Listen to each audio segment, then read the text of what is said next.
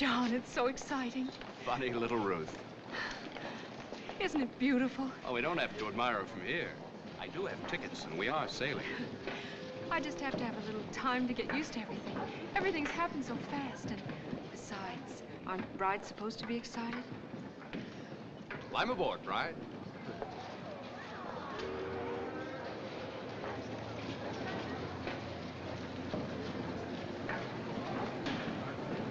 Aboard, man. Thank you. Watch your step, please.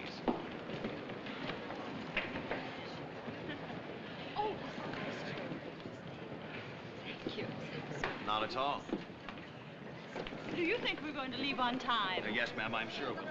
Ah, the sea deck cabins this way. Yes, ma'am, they are. Right down this way.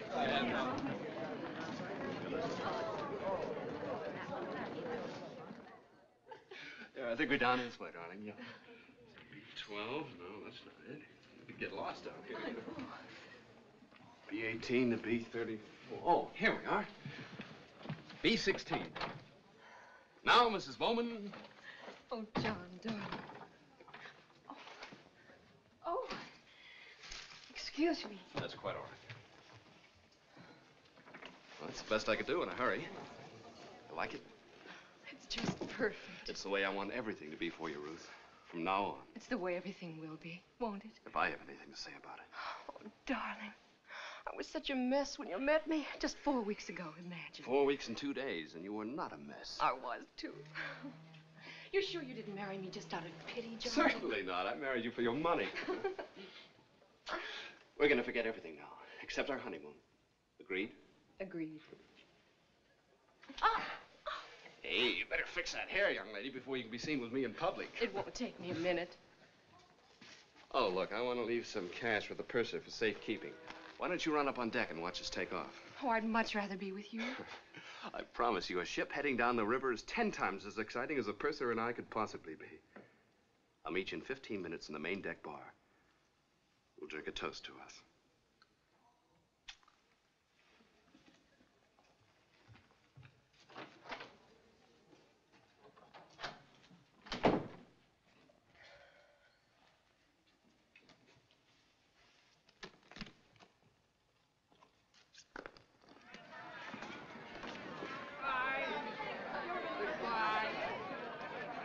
All ashore that's going ashore. All ashore that's going ashore.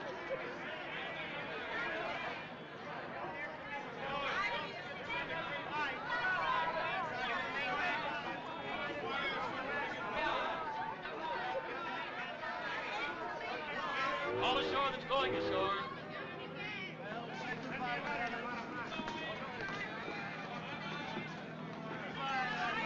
Which one is yours? Well, there must be at least one man seeing you off. Oh, I'm just waving at anybody and everybody. My husband's with me. Good. You'll um, pardon my curiosity, but you're much too pretty to be traveling alone. I was beginning to worry about the competition. No competition. Then we may as well be friends. I'm Kay Prentice. I'm Ruth Stanton. I mean Bowman. Just married? Does it show that much? I always forgot my married name the first couple of weeks. I've been a bride myself on occasion. The groom seasick already? No, he just had an errand to do. I'm meeting him in a few minutes. Oh, you mustn't let him out of your sight. Husbands lost so easily. I know.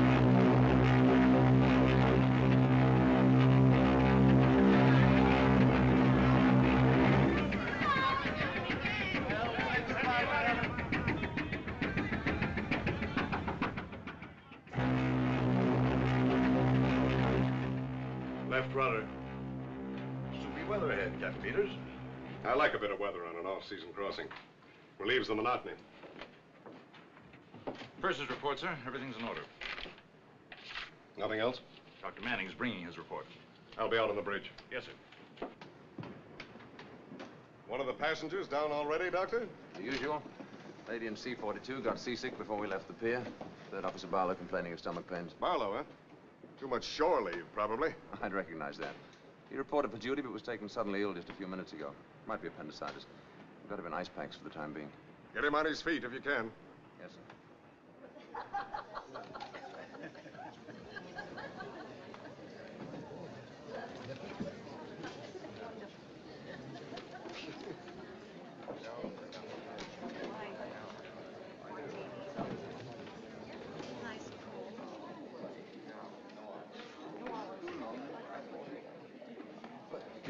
Do you wish to order, madam? Oh, in a few minutes.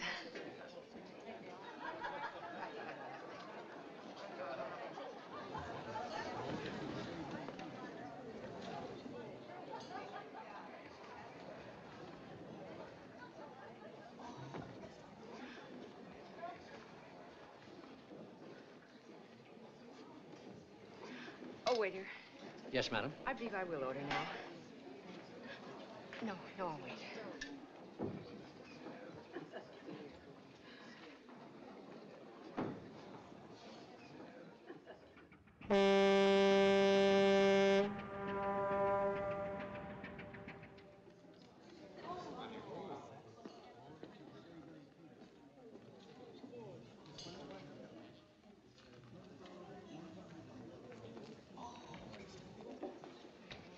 Steward, Yes, madam. can you tell me where I can find the purser's office, please? On this deck, aft. To the rear. Oh, of course. Shall I hold the table? No, no thanks.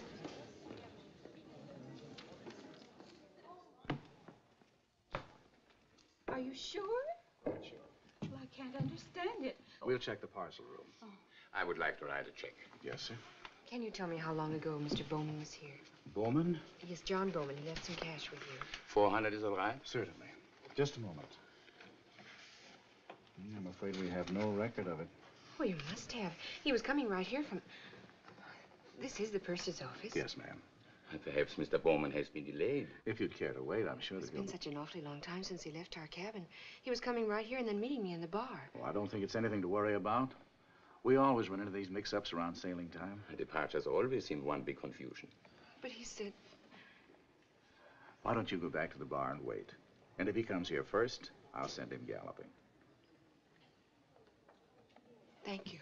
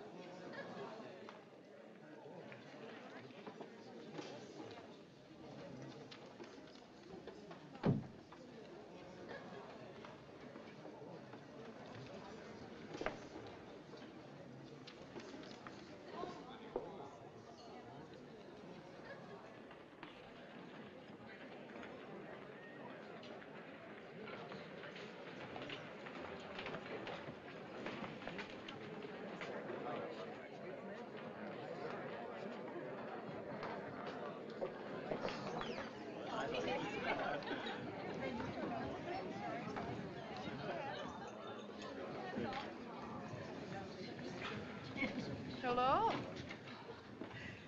Don't tell me you've lost him already. You haven't seen him, have you? Oh, of course not. You don't know him. Come on and have a drink with me. I'll stand No, watch with no, you. No, I can't. I can't really.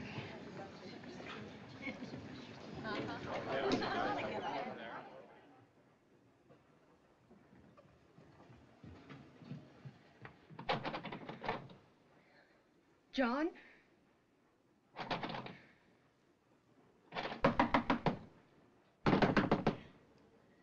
John?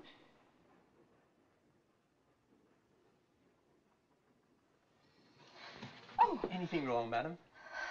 oh, yes. Would you mind opening my cabin for me? I don't have my key. Are you sure you have the right number? Of course, B16. I'm afraid there's some mistake. No, this is the one. I'm in charge of this section, madam, and If I... you'll just open it, please.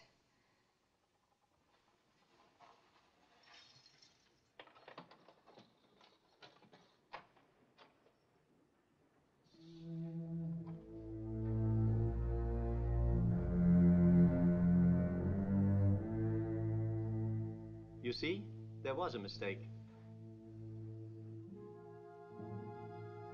But, but we were here. Right here. I don't think that's possible.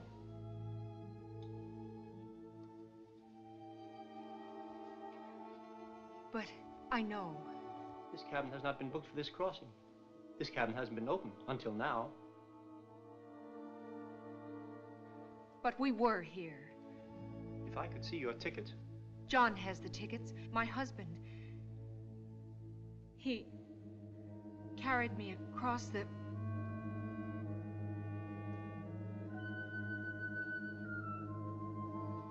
Did you say a mistake? It happens. Many cabins look like many other cabins.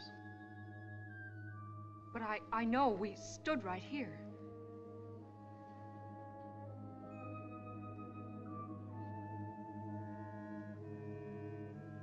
We sat on this bed. My hat came off. I had to fix my hair. I'll bring the purser.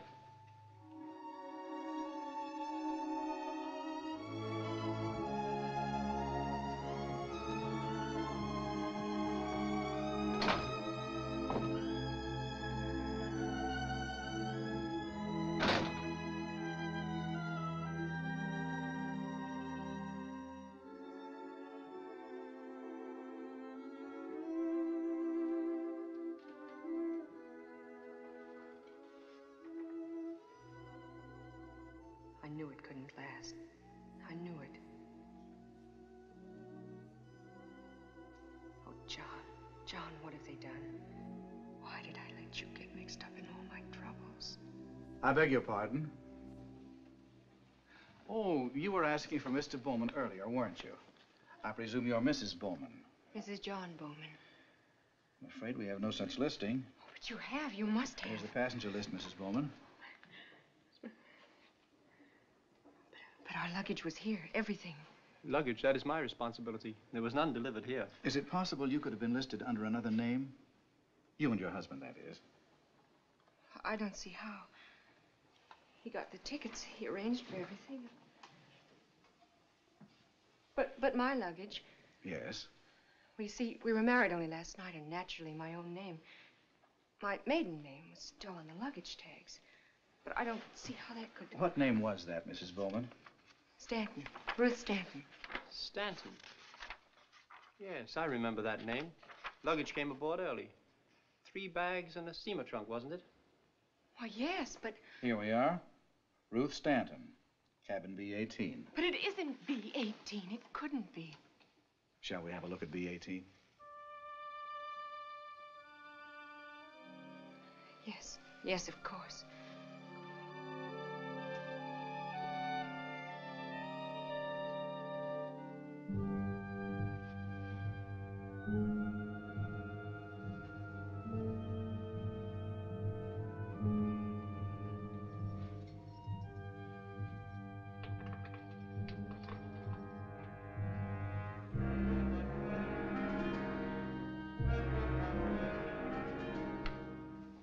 This is your luggage, Miss Stanton? Uh, I'm Mrs. Bowman. I beg your pardon. My, my husband's luggage was with mine. What have you done with it? I assure you, ma'am, this is the only luggage delivered to this cabin. But to our cabin, to B16. It was there. I saw it. I do think you're confused, Mrs. Bowman. This is your cabin. B16 has not been occupied. Why are you saying that? What are you trying to do to me?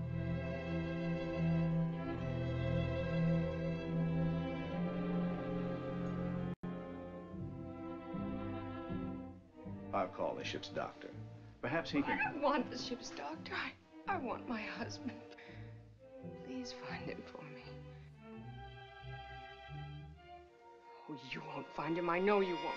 I'll find him. I'll find him myself.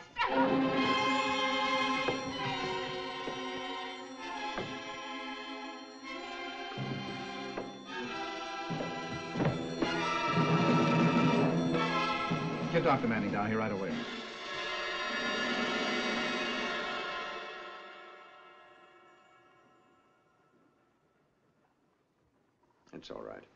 I'm Dr. Manning. Where's John? Where's my husband? We're doing everything we can.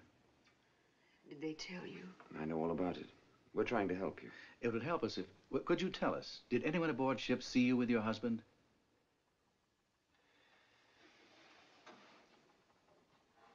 Well, there was an officer near the gangplank when we first came aboard. He might remember. That'd be Jim Logan. Wait, there was someone else. There was a stewardess in the cabin when John and I first came in. I'll bring them in. You will probably be more comfortable in the chair. Let me I- help you. I'm all right.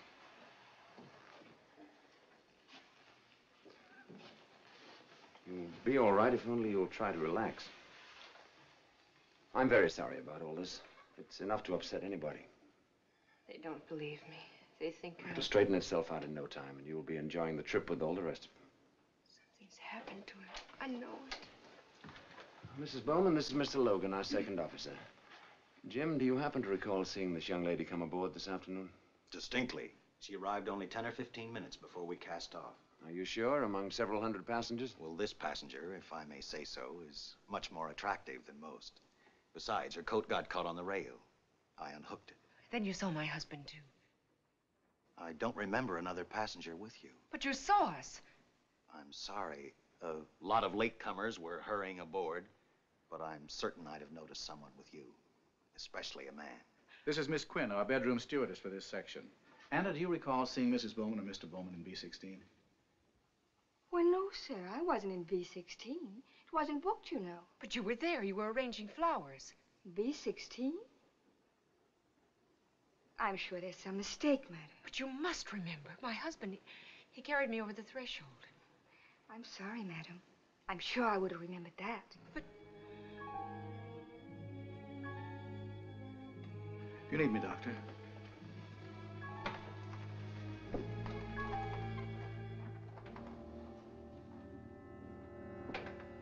nobody believes me. Do you? I'd have to know more of the facts. You think I'm lying, too. Everybody does. I've got to go and see the captain. I'd rather you rested for a while. Will you take me to see the captain? Or shall I go by myself? I'll take you to him, Mrs. Bowman.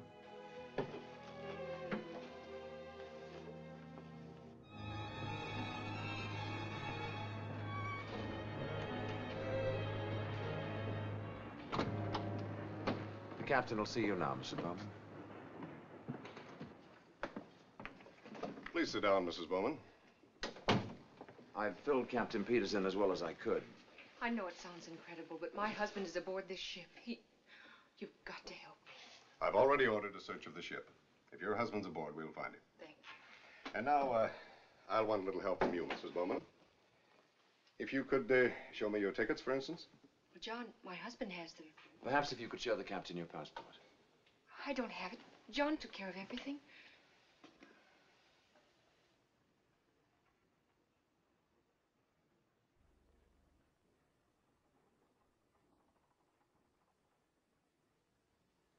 When were you married, Mrs. Bowman? Just last night. Uh, where, may I ask? Why, actually, I don't know. It was one of those little towns in Maryland with wedding signs all along the highway, and we just stopped into one of them and. Oh, what's the use? Yes. Oh, yes, right away. Is it possible, Mrs. Bowman, your husband could have left the ship before we sailed? Well, yes, he could have. We've but- just reached Ambrose Light, and we're about to drop the pilot. Now, it'd be a simple matter to arrange for you to return to shore with him. But he wouldn't. He wouldn't leave me. It's your last chance to leave the ship and return to New York. I'm not going to leave the ship until I find out what's happened to my husband. It's merely a suggestion. We'll forget it. Yes, let's forget it. Let's drop it. It's as easy as dropping the pilot. Mrs. Bowman, please. Why, I'm sorry. I didn't mean to. Oh, Captain, everything I've told you is the truth. We want to help you all we can, Mrs. Bowman. But you can scarcely blame us for finding your story unusual, to say the least. The minute I get a report on the search, I assure you, you'll be notified. I'll show you to your cabin. A little rest to I set it. don't need any rest. I'm perfectly capable of finding my own cabin. You think I'm... I'm afraid you have a patient in your hands this trip. Can we have a story checked? Well, surely you don't believe any of that fantasy. I don't know. I want to find out. Well, if it'll make you any happier, I'll have the New York office radio us anything they can find out about her. But in the meantime, you keep an eye on her.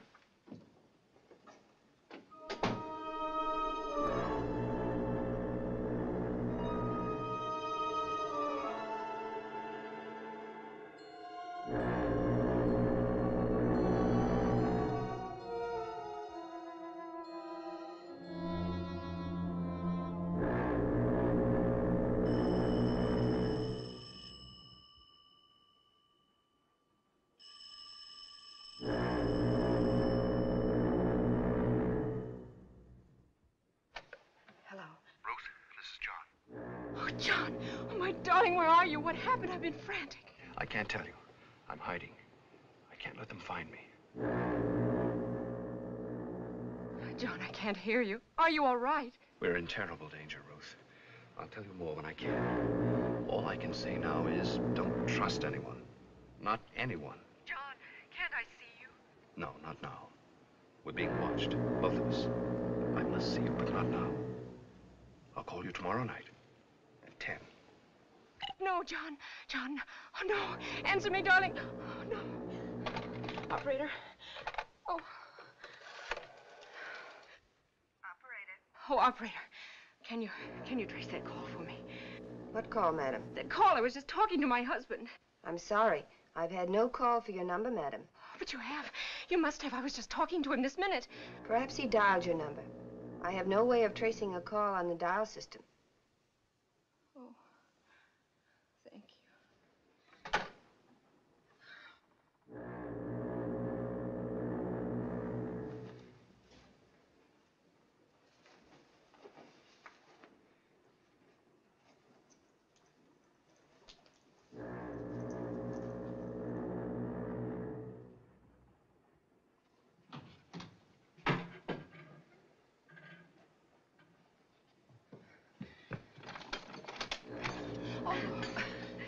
Uh, maybe I should mind my own business, but you weren't at dinner, so I asked the stewardess to make you some broth. Oh, how nice of you.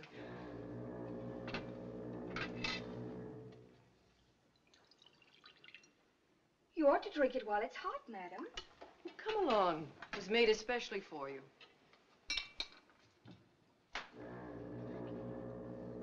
Here. Unless you need me for No, anything. that's all right. Oh, and thank you.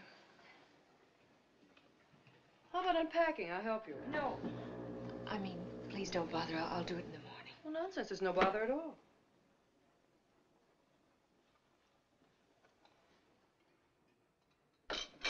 Oh, go ahead. It won't poison you. I guess I just don't feel like. Yes. Oh, yes, hello. There's something the captain has asked me to tell you. May I come down? I'd rather meet you. Yeah, perhaps that would be better. Meet me in the main lounge. All right, I'll be right up. Oh, I'm so sorry. I'm afraid you'll have to excuse me. I, I just got a call and I. Oh, dear, I, I'm terribly sorry about the broth. Oh, think nothing of it. You have a right to be a little shaky. I'll have the stewardess clean it up.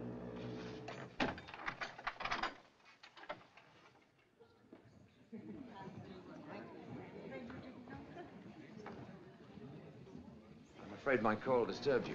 No, no, it, it wasn't that. I suppose you know why I called. Captain Peters has a report on the search of the ship. He asked me to tell you your husband isn't aboard. Captain Peters is wrong. I'm sorry, Mrs. Bowman. Either your husband left the ship before we sailed. You're wrong, too. My husband is aboard this ship. Our crewmen are professionals at this sort of thing. People are always trying to stow away and always getting caught. Are you trying to suggest that my husband I'm is a... sorry, I didn't mean that. It's just that there's absolutely no chance he was missing. Everyone aboard is accounted for. That's not so. Mrs. Bowman, please.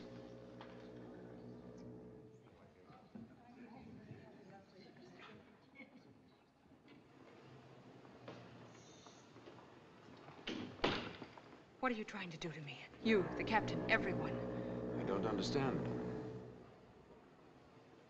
My husband phoned me tonight, just before you called. Mrs. Bowman, this has been a trying day for all of us. And we have done everything we could. But he phoned me. I'm as sure of that as... You don't believe me. Where did he phone you from, Mrs. Bowman? Why, I don't know.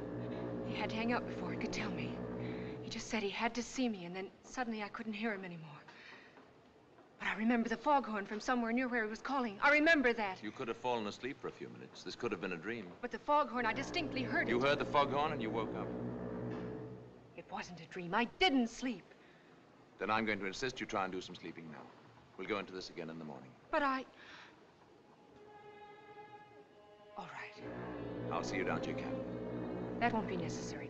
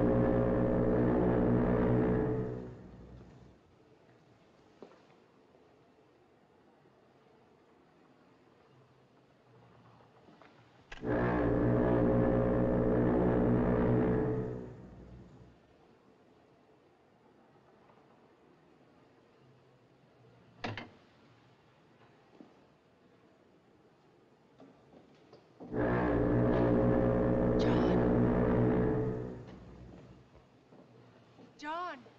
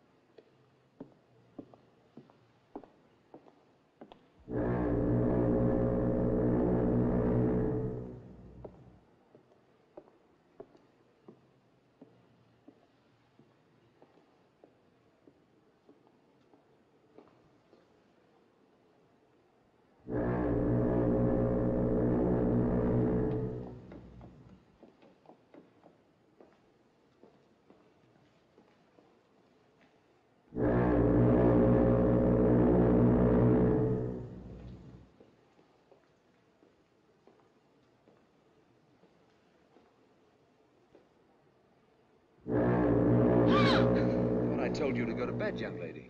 Would you mind telling me what you're doing up here? I could ask you the same question. I'll answer it. I followed you. That's what I heard when he called. He was here. And it wasn't a dream. All right, let's say it wasn't a dream. Let's say you could have imagined it. Imagination can play strange tricks sometimes. I wouldn't mention this to anyone if I were you. He's against me, too. They all are. I'll fool him. I'll pretend to agree with him. Do you, do you really think I could have imagined it? Such things can happen. I have been upset. You want to tell me about it? Do you think you can help me? I can try. But not here. You're freezing.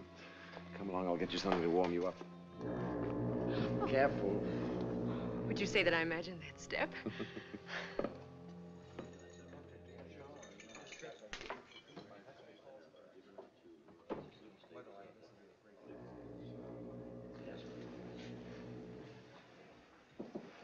Anything you'd particularly like? Order for me, won't you? Uh, brandy, milk punch, and a scotch and soda, please. Yes, Doctor. Do you want to talk now? Would you like to look around some more? Oh, I guess I did it without thinking. You see, this is where everything started. It's where I was supposed to meet John. If you're uncomfortable about it, there are other bars. No, I'm not really. It was just seeing the place again. Mrs. Bowman, your conviction that your husband phoned you was very strong, wasn't it? Yes, yes, it was. You still can't really believe it was your imagination, can you? No, I can't. It, it was so real.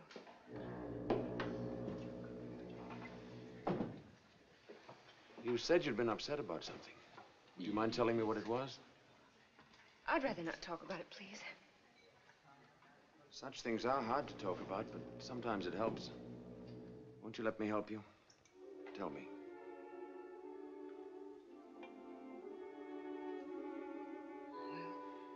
All started when my father died, Oh, I'm sorry. When was that?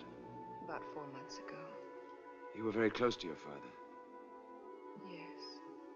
I hadn't realized how much he meant to me. Until he was gone. I know how it feels to lose someone you love very much, but you still had your mother, brothers, sisters, perhaps. No, I was an only child. And my mother had died when I was very young. Oh, then you were left all alone. Afraid I pretty much went to pieces for a while. I used to look around rooms, expecting to see my father walk in at any minute. I, I wouldn't go out, wouldn't see anyone except the doctor. You were ill? No, not really. And why did you see the doctor? It was just that I felt exhausted all the time. How long were you under his care? A couple of months altogether. Was he a psychiatrist? No, just our family doctor. I don't want to talk about it anymore, please. When you looked around the rooms for your father, did you ever think you saw him? Did you? No, of course not. But you couldn't help looking. Why? Because of so many years of seeing him around. It's only natural. Like looking for John here tonight. What did the doctor prescribe? Wanted me to get a change of scene. You went away? I went to New York and I met John. And everything changed for me. Suddenly I was happy and well again. Did John by any chance remind you of your father? Well, he was tall. He had a certain air of authority about him that. You're not trying to suggest that John is just in my imagination. I didn't say that. But it is possible to create a father image, especially in a case like yours where you felt so badly in need of one. He's not a father image. He's my husband. And he's in danger, terrible danger. We both are. That's why he phoned me to warn me. What did he warn you about? You don't believe I have a husband. You won't believe this either. I can't believe or disbelieve anything till you tell me. I won't tell you. I won't tell anyone. Let me alone.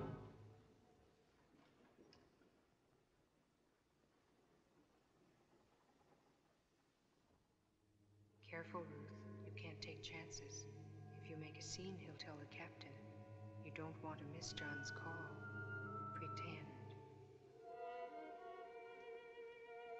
I'm sorry. I know you're trying to help. I get so confused, I'm not sure of anything. I feel so much better after this talk with you. I just hope I haven't taken up too much of your time. I was about to suggest you take up some more of it. A couple of days' normal activities, some games, a little talk. Yes, I think that would help. I don't want to monopolize you. Then I'll change the suggestion to an order. All right, Doctor. This comes under the heading of doctor's orders, too. Take two.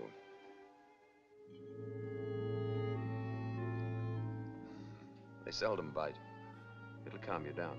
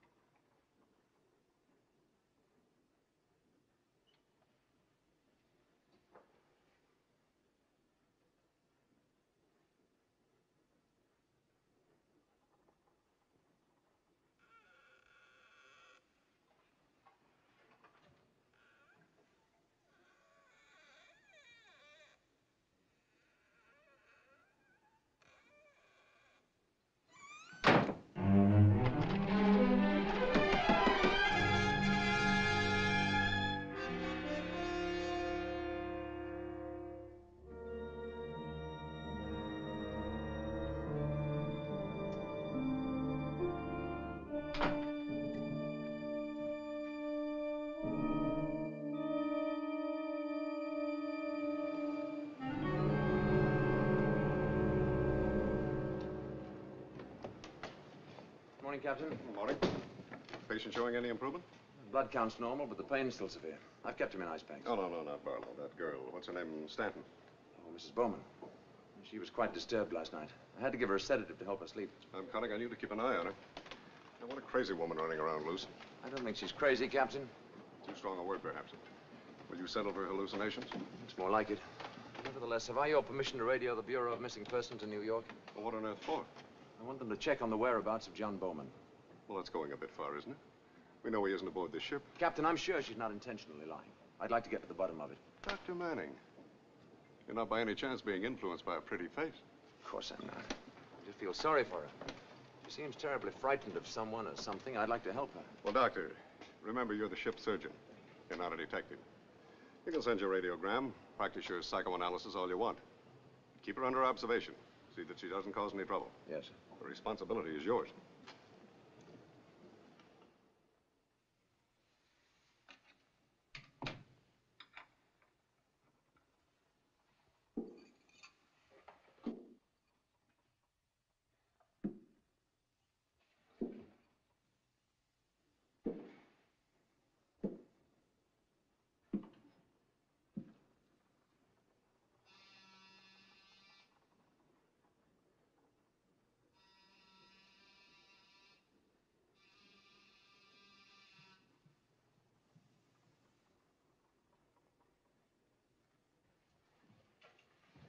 Good morning, Mr. Bowman. Oh, good morning, Mrs. Bauman. I have just come to see you. I have here a little book. It might pass the time a bit for you. Oh, it, it was good of you to think of me. I have thought of you very often. It's concern. Want you? Thank you. I, I'll return it.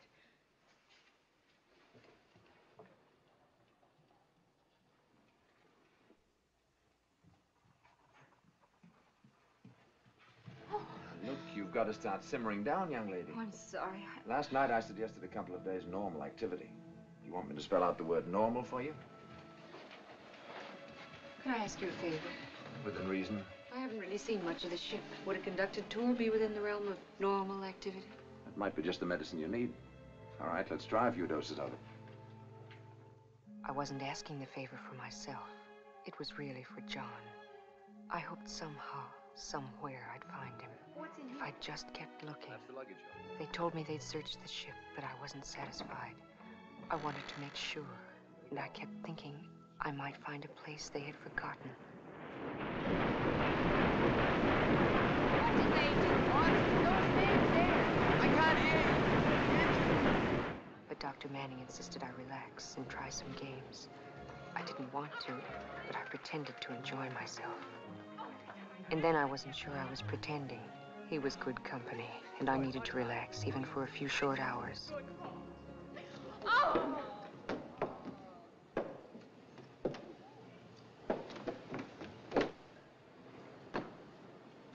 Mrs. Bowman, be careful.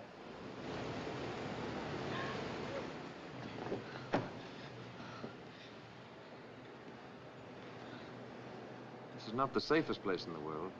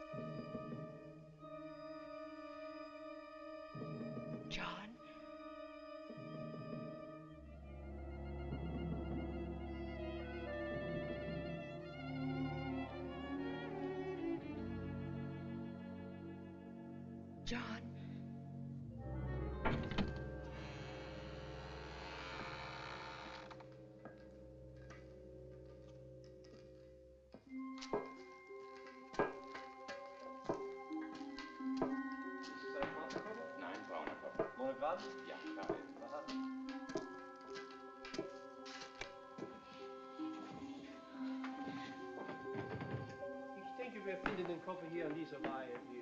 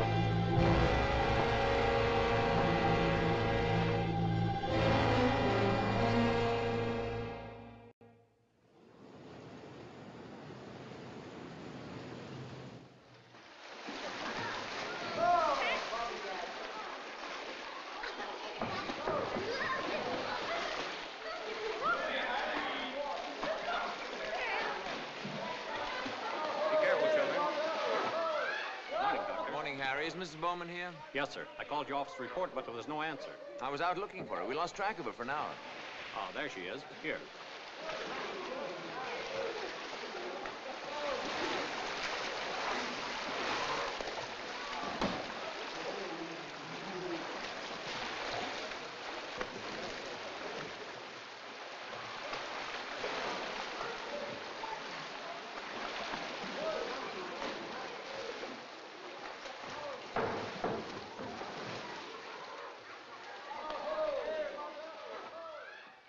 An uncomfortable night.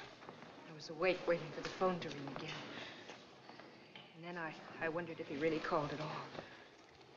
You know people are not supposed to prowl around the luggage hold without a member of the crew. Oh, so. So they told you.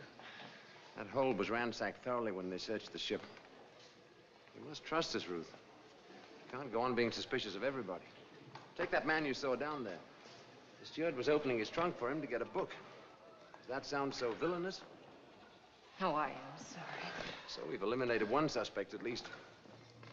It's just that I, I feel so frustrated and helpless because I can't do anything to help John. We're doing everything we can. We're even checking with the Bureau of Missing Persons in New York in case your husband left the ship before we sailed. Although for the life of me, I can't understand why he would. He seems so nice. He acts as if he really wants to help me. But how can I be sure when I know he still doesn't believe me? If I could only learn more about him. Dr. Manning, Paul? Paul, there's something I've been wanting to ask you. It's probably a question everyone asks. I've been waiting for this. Ship's doctors and dimer downscales all get it. How does a nice person like you get into this business? You're young, you have talent. Why waste it as a ship's doctor? Oh, no. Don't make fun of me. After all, I've told you a lot about myself. Well, in books, the ship's doctor is usually a man with a shadow over him. Turns out he murdered his wife and is trying to forget. And you haven't murdered your wife? Through no fault of my own, I never had a wife. Well, then, if you're not trying to hide anything and there's nothing to forget. Well, take this crossing. 1,400 passengers in my care. No specialist to run to if they break out in a rash or fracture a kneecap. I've saved the lives of people I've never seen before and will never see again. I don't know which it is I like more. The feeling of responsibility or the feeling of power. I don't know many men who could play God so many times in the course of a year. Now, what are you thinking? It just occurred to me. I, I don't really know my own husband. Everything happened so fast for us. The way we met. Times we saw each other. Our wedding.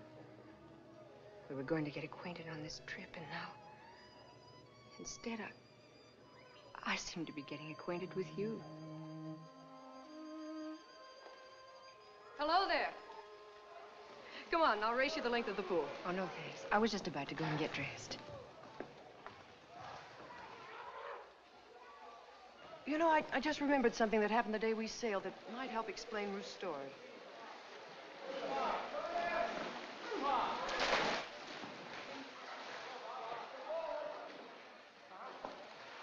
She was waving goodbye to somebody on shore. But when I asked her who it was, she said no one. No one. That's very odd. Well, she explained she was just waving because everything was so gay and she felt so happy. Possible, but strange.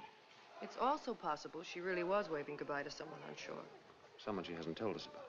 Or her husband, perhaps. Thank you, Mrs. Prentice. That's very interesting.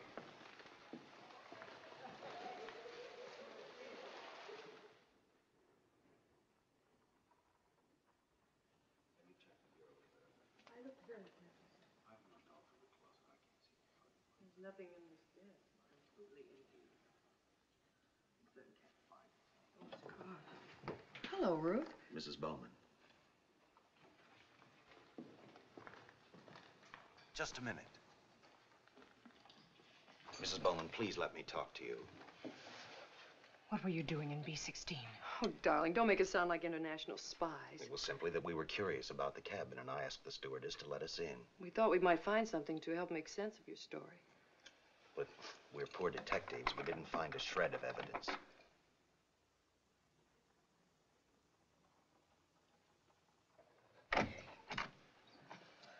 You're all so patient with me. I, I really didn't mean to.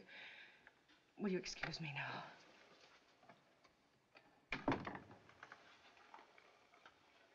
Thank you very much.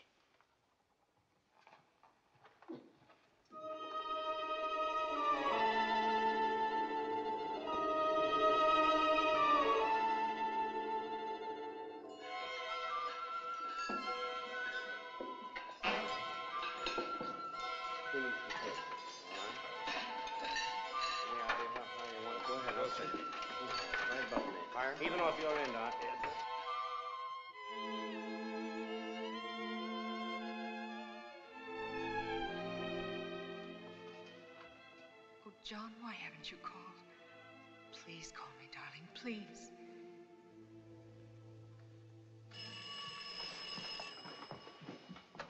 Hello. Oh, yes, Paul. I know, just a little while. Well, you know how long it takes a woman to dress.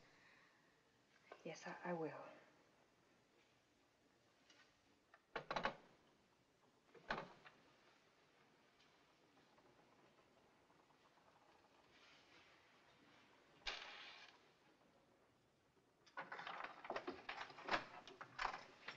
Oh, I beg your pardon. I didn't know you were here. Mrs. Bowman, is anything wrong? Oh, no, nothing. You startled me, that's all. I was just going to turn down the bed, but it can wait. No, go right ahead. I'm going out now, really. Mrs. Bowman, may I speak to you for a moment? Why, of course. I've been waiting for this chance to tell you about your husband. Yes. I mean, about not seeing your husband with you. Oh. We see so many new people on sailing day. Maybe I forgot. Or maybe you saw another stewardess. Anyway, I'm sorry. It's all right. If there's anything I can do. No, nothing.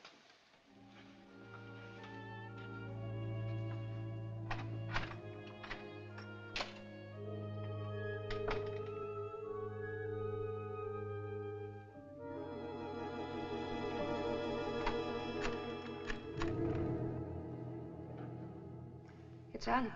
Are you alone? She just went up to dinner with the doctor. It's all working out just the way we want it. Everybody thinks she's crazy. Yes. Whenever you say. But be careful.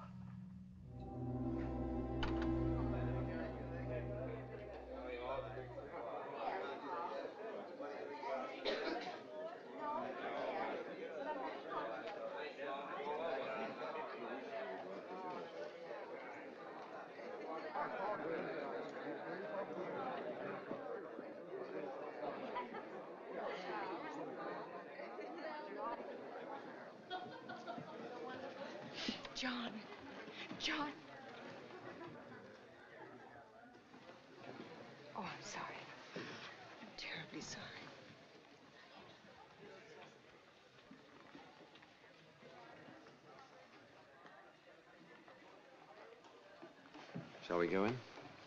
Afraid I won't be a very cheerful dinner companion. And I'll prescribe a little champagne. We'll see if that'll help.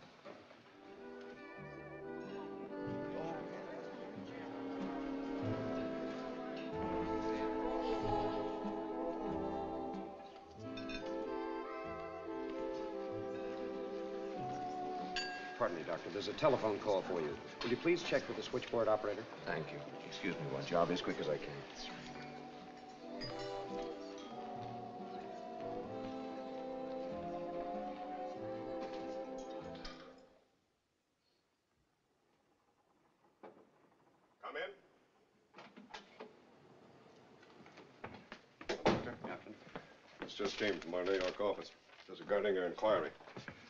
Stanton, President Stanton Iron Steel Corporation, Philadelphia, died four months ago. Ruth, greatly disturbed by father's death, was ill and under a doctor's care. When she left Philadelphia five days ago, assumed destination New York. Neither Stanton housekeeper nor doctor knows of a John Bowman, and a positive Miss Stanton not married. Hollister, managing director. Well, that confirms what I thought all along. Of course she's not married. You ready to believe it now, Doctor? This seems to be pretty conclusive. Mm-hmm. Perhaps she'll stop believing it, too, when you show her that. Captain Peters, do you mind if I show it to her later, after dinner? She's still pretty upset, and I'd like to break it to her gently. We've been altogether too gentle with her. It's time we showed some concern for the rest of the passengers. She hasn't made any trouble. Well, not yet. Her condition, there's no telling what she might do. We don't want a suicide aboard the ship. She's to be confined to her quarters for the rest of the voyage. I'm afraid, sir, that might do more damage than good. I've got to know her pretty well during the past few days. I'm sure this hallucination or delusion is the result of something temporary. An emotional setback or disturbance and can be corrected. There's nothing violent about it. I assure you she won't get out of hand. Well, that may be. This isn't a case for you to handle, Doctor. It's for a professional psychiatrist. Possibly it is, but it's still wrong to make a prisoner of her. That's a shock at this critical time might do irreparable harm. She needs help, not punishment. All right. Handle it your own way, Doctor. For the time being. Thank you, sir. I pour your wine, madam? Oh, yes, you may as well.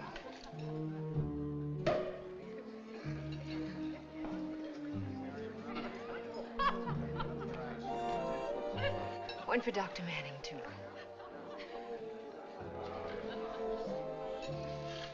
Sorry I had to run away. You were with the captain. Oh, yes, I came in with him. Let's stop worrying about things, shall we, and enjoy our dinner?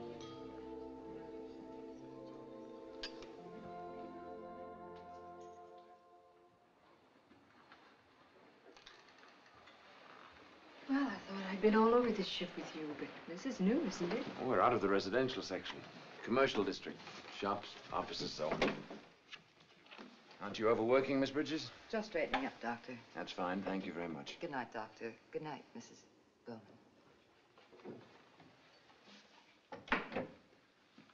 I want to talk to you alone, Ruth. Won't you sit down? It was the captain I was with earlier. This radiogram came to him just before dinner.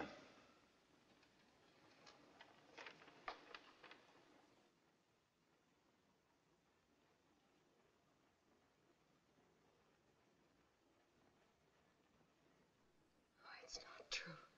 No, it's not true. It's not true. Ruth, sit down. Oh, no. It's not true. No.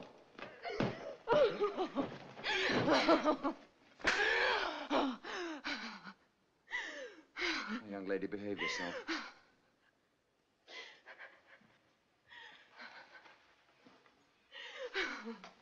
You're going to tell me the truth. We're going to get to the bottom of this. I, I have told you the truth, Paul. Then why did you say that radiogram was not so? Because it isn't so. They don't know about John back home. How is it possible they wouldn't know about your marriage? Because I, I didn't tell them. Why not? You must have had a reason. I did have. What was it? Oh, I can't tell you. I can't tell you. The day we sailed, you waved goodbye to someone on the pier. What do you mean? You were standing at the rail waving at someone. How did you know that? Never mind. Who was it? It was nobody. I was just so happy. Was it your husband? No, of course not. He was on the ship. He still is. He phoned me. I thought we agreed that phone call was in your imagination. I knew it wasn't. I lied to you. Now we're getting somewhere. Why did you lie to me? I was afraid Of me? of everybody. I was afraid they'd lock me in my cabin because nobody believes me. And I don't want that. I've got to find John before something happens. Well, don't you see, if he could have called you, he could just as easily have called the ship's officers. You don't understand. He's afraid to talk to anybody but me. He's in danger, terrible danger. We both are. Who could possibly benefit by the death of you or your husband?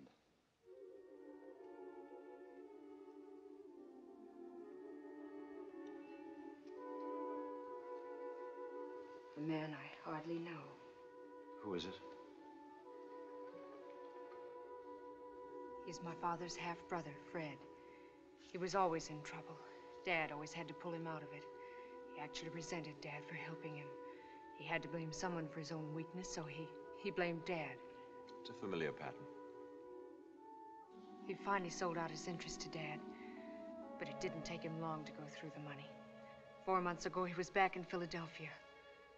I heard him and Dad have a terrible argument. When he found out that Dad had willed the company to me, he, he actually threatened him. Said he'd stop at nothing to gain control of his interests again. They almost came to blows. Then Fred left.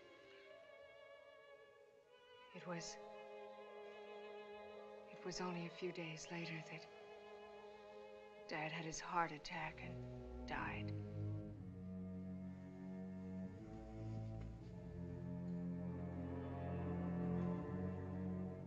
Have you told this to anyone else? Only to John. You're not alone, Ruth. We'll do everything to protect you. But you never believed me about John. It's possible I never wanted to believe you had a husband. Whatever happens, we'll see this through together. Right now, I'm going to take you down to your cabin and you're going to get some sleep. Thank you, Paul. Paul, I. I'm not afraid anymore.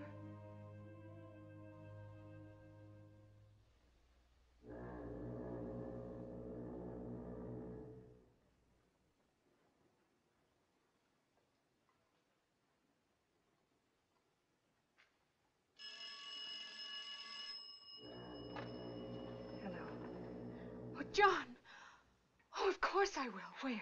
The boat deck, darling. Near the lifeboats. Port side. Right away, can you? And Ruth, be careful. Don't let anyone see you. Oh, wait for me. I'll be right there.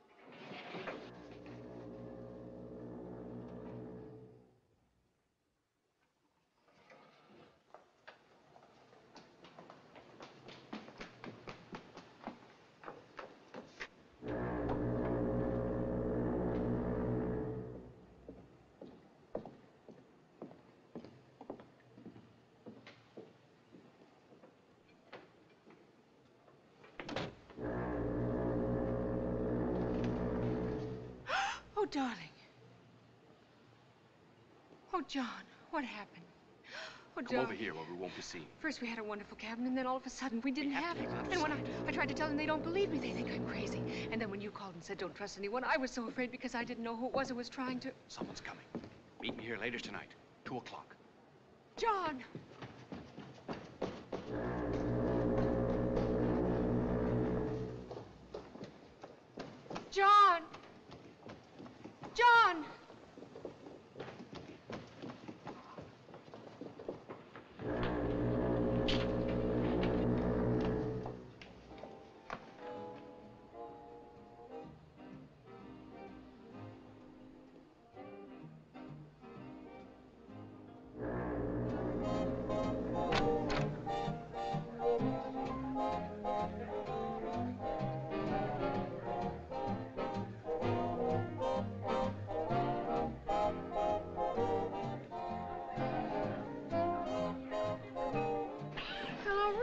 Gone to Can bed. I steal your Mr. Logan for a dance? Well, pleasure. Excuse me.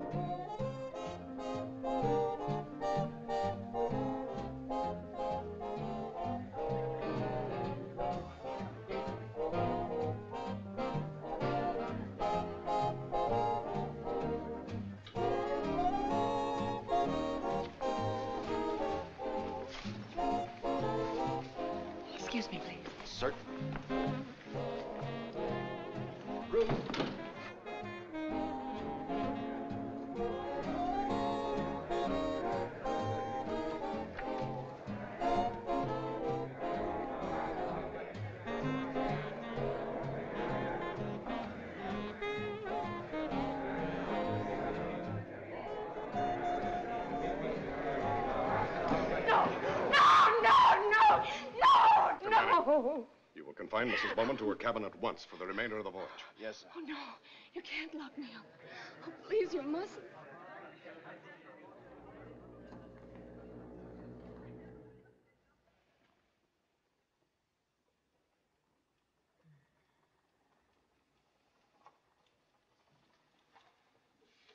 She'll be asleep in just a few minutes.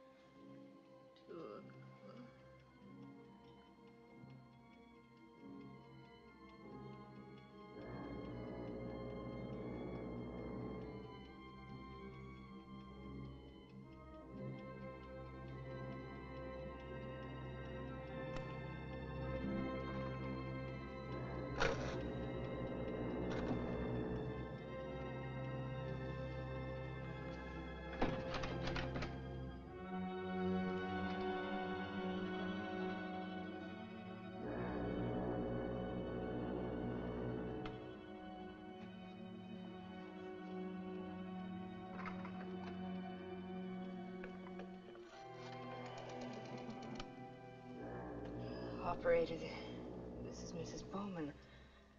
I've got to see Dr. Manning. I've got to see him right away.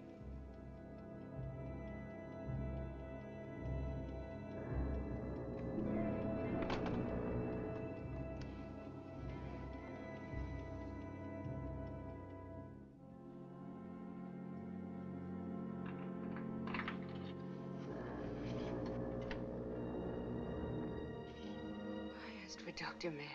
I took the call. I've had a rapid recovery. Where is Paul? Please get him for me. Haven't you taken up enough of his time as it is? Oh, but I must see him. He'll call on you in the morning when he makes his rounds. No, it has to be now. I suggest you go back to bed and stop this nonsense. Oh, please, you don't understand. Please get him for me. You're not ill. And you're not going to get the doctor down here to hold your hand over something you've imagined. Good night, Mrs. Bowman.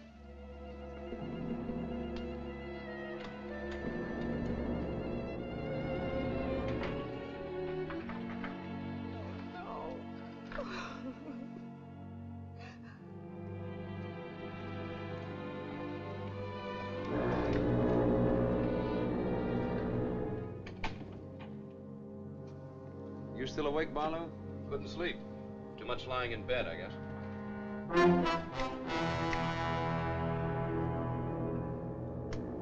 What was all that racket I heard a couple of hours ago? Mrs. Bowman again. I'll give you a sedative. You've had your hands full with her, haven't you? Yes. Tonight she got quite violent. Sounds like she's off her rocker. Everyone seems to think so, including the captain. I'm not so sure myself. Something peculiar going on. I'd like to get to the bottom of it. Something else out, too. Your pulse remains normal, but you still have the pains. I'll take the sedative anyway. Sleep won't hurt you. Well, actually, I won't need it. I've been feeling much better. Don't be surprised to see me up and around by tomorrow. Glad to hear it. Good night. Good night. Oh, I hope you don't have any more trouble with, uh, what's her name? Mrs. Bowman? I won't. The captain's had her confined to her cabin.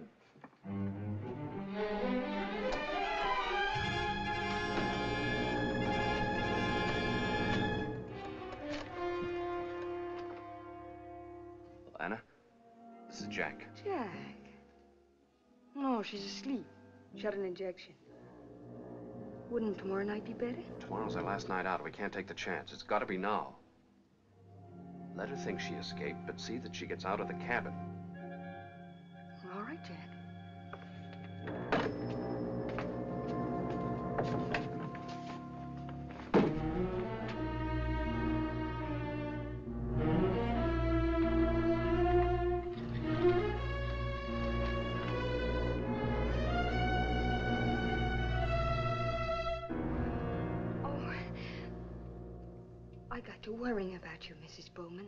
And decided to look in.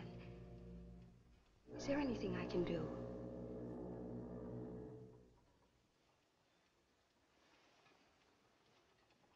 Why, Yes, there is something. I started for a glass of water, but I'm so drowsy. Do you suppose you could? Of course. I'll get it for you.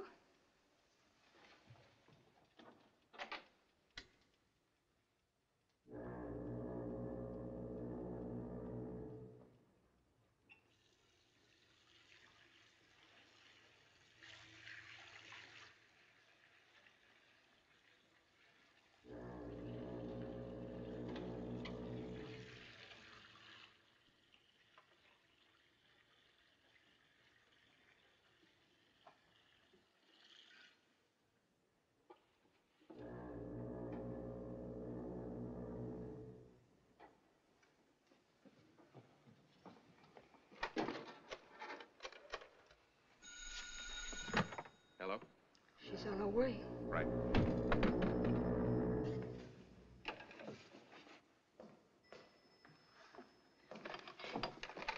Operator. Operator. Operator. Miss Quinn, where is Mrs. Bowman? She, I, I, I was just trying to get her to sleep and she ran out. I was just trying to call you, Doctor.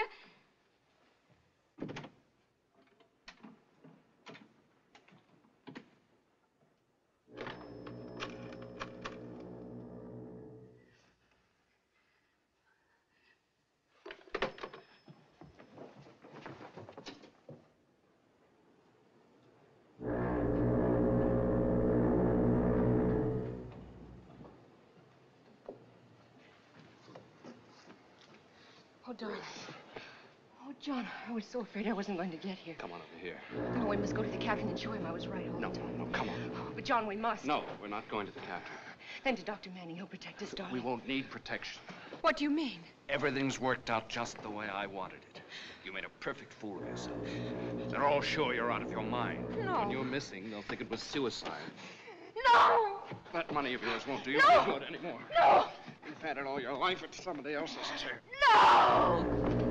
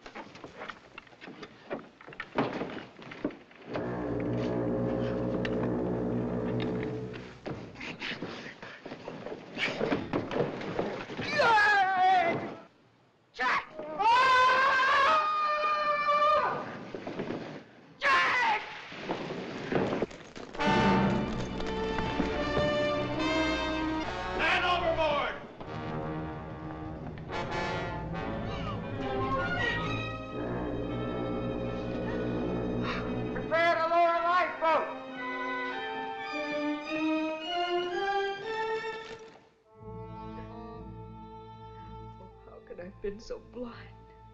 I was in love with him. I thought I believed him. He came into your life when you desperately needed someone. You wanted to believe him. Now everything he ever said and did is like a terrible nightmare. Only worse because it was real. Ruth, listen to me. You've got to put it out of your mind, the whole thing. It was a nightmare, but your eyes are open now. It's over, Ruth. All over. You've got tomorrow to think of. Lots of tomorrows after that. I know you're right, Paul, but if only something could make it go away for me. Drink this. It'll Warm you up.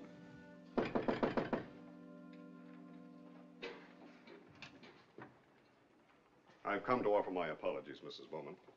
You don't have to apologize, Captain. It's over now. It's all over. The stewardess gave us a full confession. She'll be handed over to the authorities when we dock. After we talked to her, we found these in Barlow's cabin. Your passport and your marriage certificate. I'll take those, Captain, until she needs them. Mrs. Bowman, speaking for myself and every member of my crew, we're sincerely sorry. I'm very glad I was so wrong about you. Thank you, Captain Peters. Good night. Good night.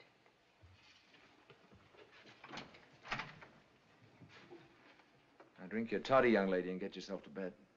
One of those tomorrows I mentioned will be around before you know it. Paul.